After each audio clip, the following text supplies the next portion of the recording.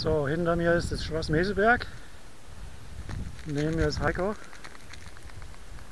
Der guckt gerade, was die Kanzlerin zum Mittag kriegt. Eine super Wiese. Wetter vom Feinsten.